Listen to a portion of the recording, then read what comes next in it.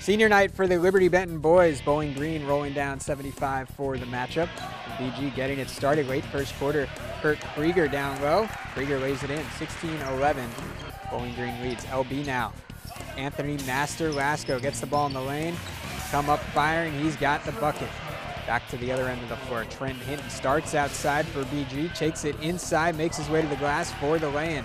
And more from Bowling Green. Jordan Arrington, baseline, the layup off the window, and Bowling Green gets the win, spoiling senior night by 16, 70 to 54 your final.